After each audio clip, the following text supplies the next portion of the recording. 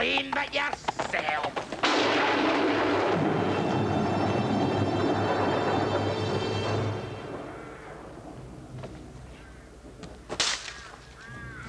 You are. You are. Ah, there you are. Thank you for employing me, sire. Do you mind explaining to me why you've stopped the coach almost three feet from the entrance? In the full knowledge of my accursed and useless limb. It was not me, it was the horse. Such a powerful beast under the rain. It's a poor coachman that blames his. You're a powerful beast under the rain, aren't you? Uncle Murdoch, my legal guardian, master of Dundreich, and the most potent force in the Vale of Glenmiller. Come on, Beulah, get those anorexic limbs up these stairs. Oh, I'm right behind you, sire. What sinister judiciary of fate decreed that I, young Tom, should be domiciled under the same roof as such a brutal beast? Was it only a week last Thursday that I nestled happily and securely in the cozy Edinburgh abode of my dear parents? Tom fell down and broke his crown, and Jill came tumbling after. Two o'clock in the morning, young Tom. Time little people were in bed. Oh, must I, Mama? Oh, come on, Martha.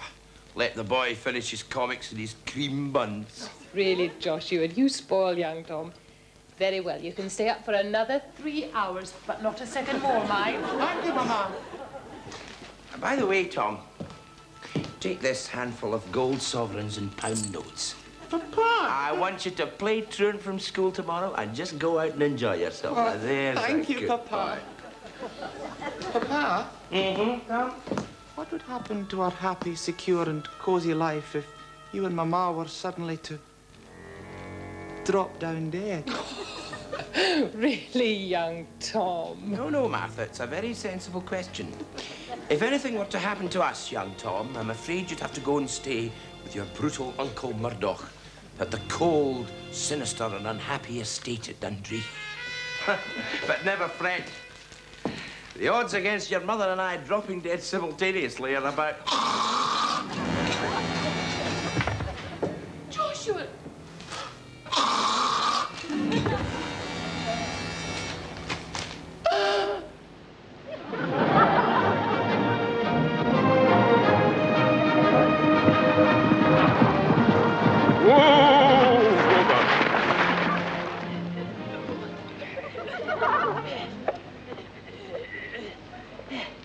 Thank you for employing me, sire.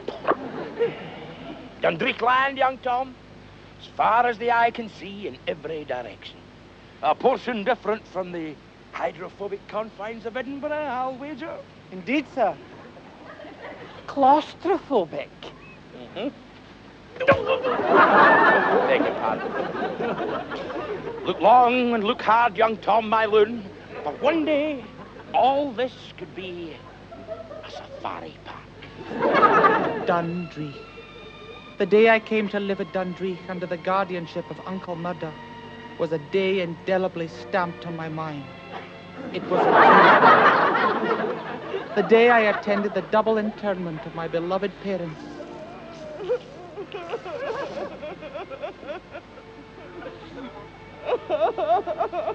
Amen. As the new head of the family, Uncle Murdoch was in charge of the funeral arrangements.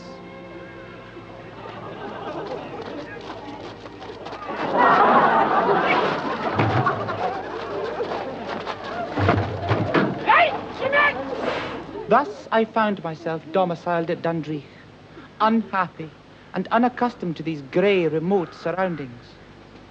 The year was 1746, and Bonnie Prince Charlie and the remnants of his tattered army were on the run from the dreaded Redcoats.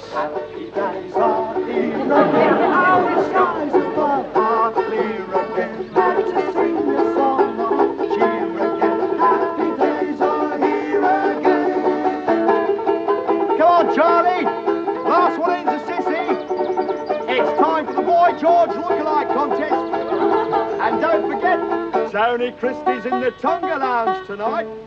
The days are here again, the skies above are clear again. Let's sing a song of cheer again. Mystery abounded in that place. Why were the Redcoats such frequent visitors to Dundreich, making regular deliveries of I knew not what to a basement in the East Wing? Potatoes, Mrs. B, potatoes. And who was the beautiful woman in the portrait? and what possible motives could Uncle Murdoch have for inviting young virgins from the village to spend the night at Dundreich? Now, my dear, let's get you out of these nasty wet clothes. Wet clothes, sire. Surely you jest. No. now, let's get you out of these nasty wet clothes. Oh, and what were the strange noises seeping from within the locked bedroom door?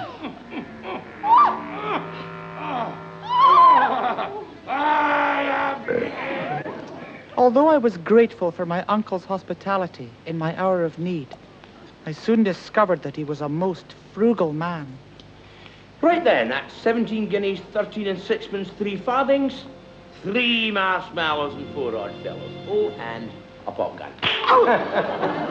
well, have you got your housekeeping? 17 groats this week. Uh, Oh, but Uncle, you know I don't. You've got all my money, my gold watch, even my dinky toys. and you suppose that your grow grows in trees, Tom? But you know as soon as my parents will is read, you'll be more than recompensed. Please do not ask for credit. As a refusal often offends. Make a withdrawal.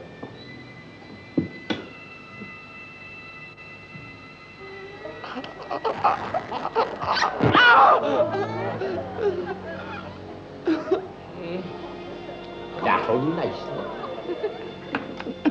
All I could do was gnash my gums in frustration. But fortunately, news of the will was not long in coming.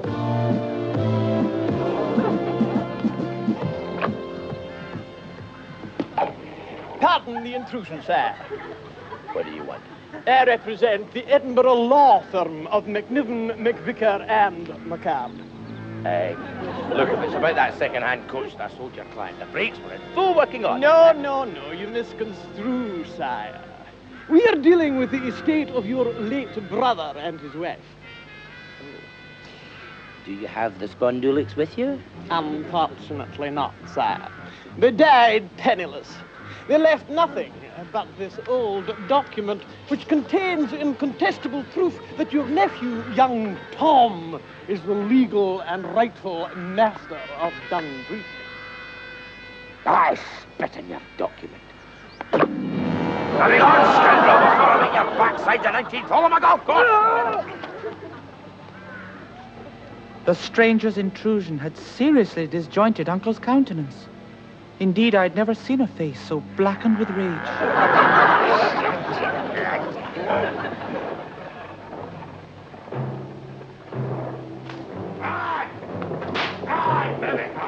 Come on, cars, faster! Faster! Your near fuel between your bellies today! Aye. Never drop soul till it's ten minutes old. Coming, Justin!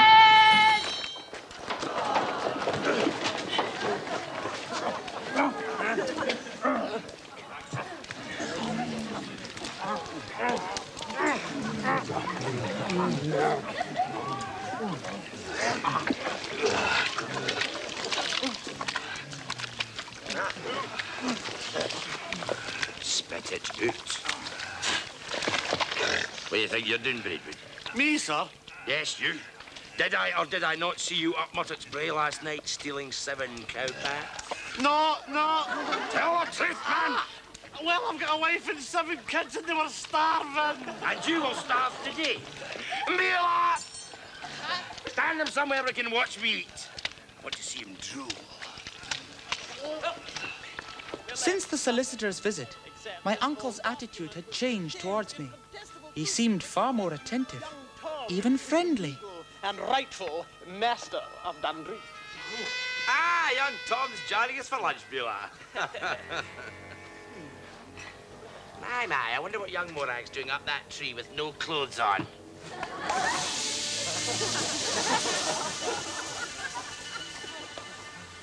Hmm, a lovely plate of mushrooms. Tuck in, Tom.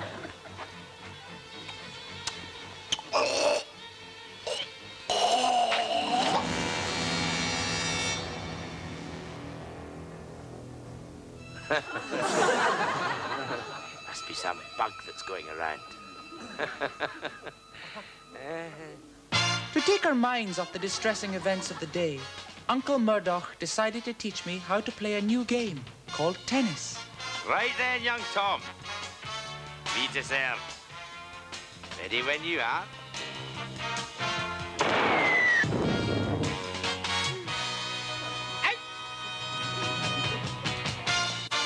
You cannot serious. The ball was. But it was not all fun and games. These were still dangerous times, and Bonnie Prince Charlie and his rebel hordes were still plundering in the neighborhood.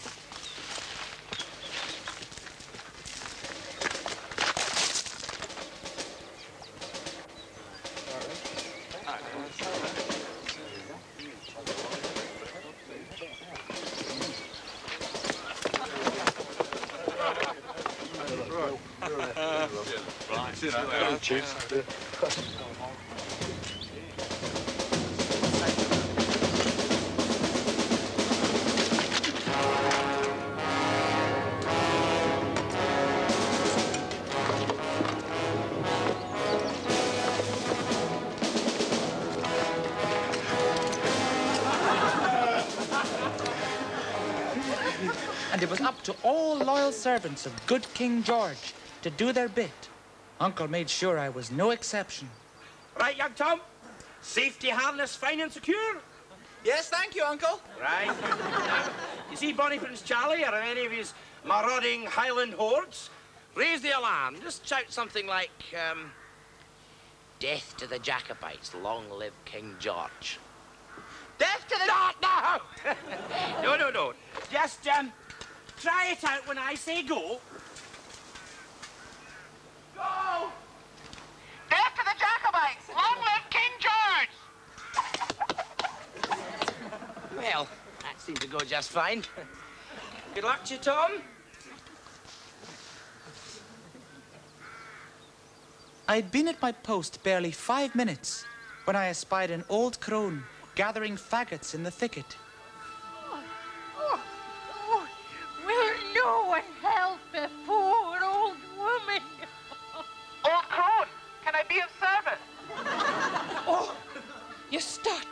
Sir.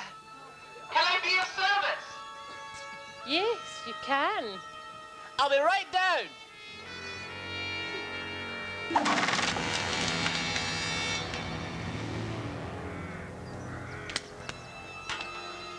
Young Tom is dead. Oh.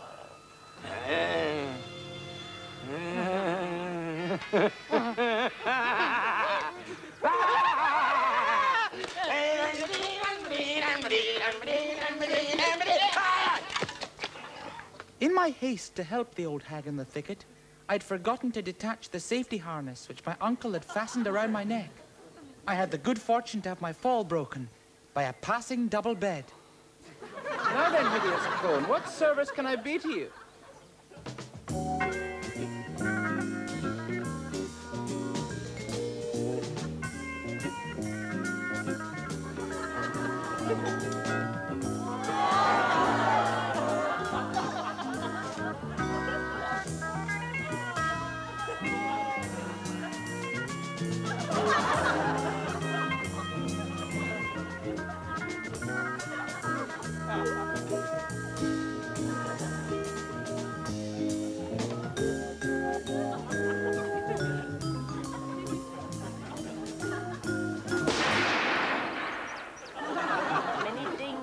May befall you at Dundreich, but none may harm ye so long as you wear this. Farewell, young Tom. No doubt we shall meet again. And with that, she was gone, leaving me to ponder the significance of our encounter.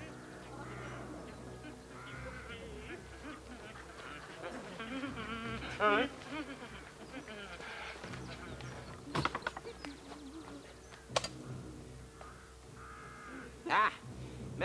Stranger, whom I've never seen before in my life. Would you happen to know the whereabouts of the lifeless corpse of a pathetic wretch who goes by the name of Young Tom, who's my nephew? And also, I've recently discovered the rightful master of Dundreich, since which discovery I and my evil lackey Beulah have been trying to murder him, although he suspects nothing. This terrible plot made my hair stand on end like porcupine quills. In the circumstances, I thought it was best not to reveal my true identity. No, sir. I've not seen the man to whom you refer. Well, where the hell is he? He was hanging from that tree five minutes ago. And who the hell are you? We don't like strangers in these parts. I had to think quickly. I'm a deserter, sir, from the army of Butcher Cumberland, seeking refuge. A deserter. A low, treacherous scumbag.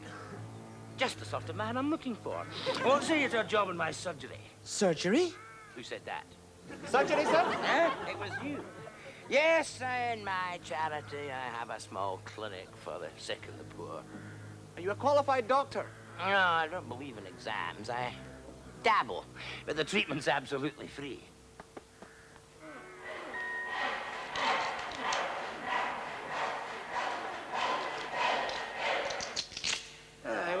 Thistlethwaite, I think I can safely say you'll have no more trouble with that cartilage.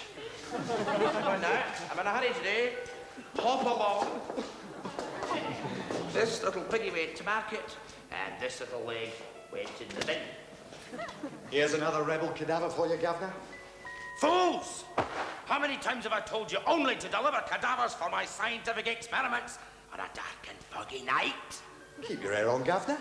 We were in the area. It's starting to smell a bit, so we thought we'd damp it and leave with, with some whiskey. Get So that was it.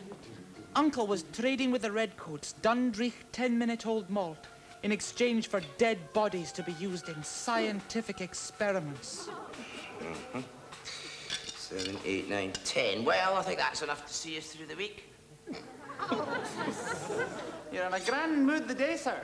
And why not Jake? Young Tom is dead. I got a whole heap of cadavers for my scientific experiments, and Celtic have drawn Berwick Rangers for the cup. What is the nature of the experiment today, sir? Today, Jake, we're going for the big one. For centuries, man has longed to play God, to find out the true secret of creation. And today, you and I, Jake, are going to do just that.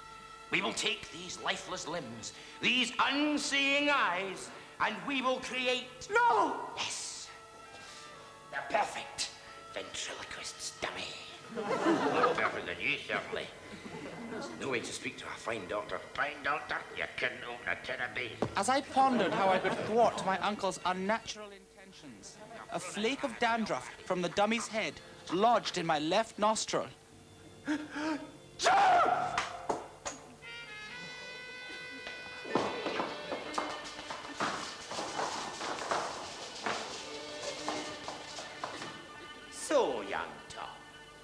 not dead after all.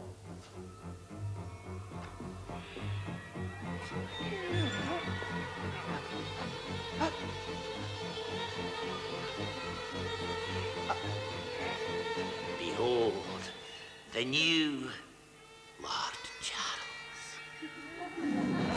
It was the oldest trick in the book, but it was worth a try. Aha, Inspector! You've arrived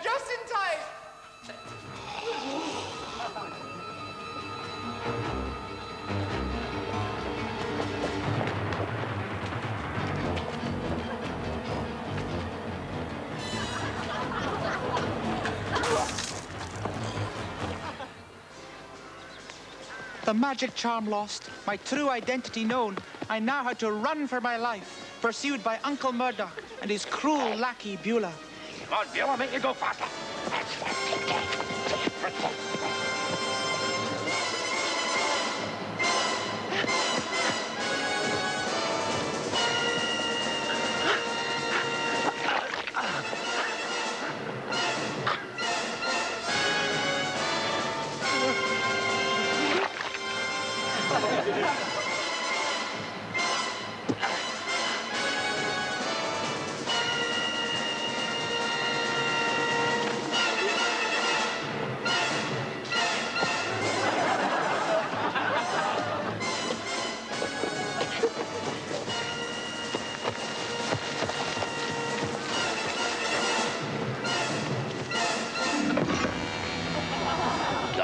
You young upstart. Do you think you could cheat me out of my rightful inheritance? Let me do it, sire. I'll make sure it's slow, painful, lingering, and horrible. Mm, shut up, Beulah! It's all mine now. Prepare to meet your end. Stay your hand, Murdoch, false master of Dundreich. Oh, master, it is the sorceress of darkness, the hermit would have been. Flour from the cornmill, eggs from the chicken, milk from the dairy cow, and grated gouda from the delicatessen. What does she mean, master?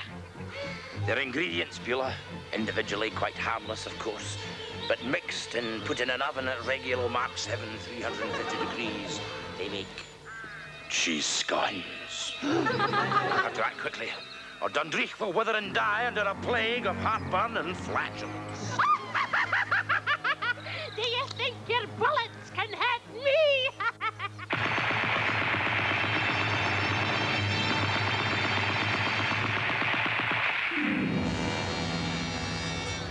Yes. You're right. The widow's intervention gave me my chance. During the confusion, I was able to escape and return to Edinburgh, where I now reside, cozy and secure. The memories of Dundreich, but a distant nightmare. Beulah, look who I spy. Oh, no. Spare me, Uncle! Ah, you've got no one to blame but yourself.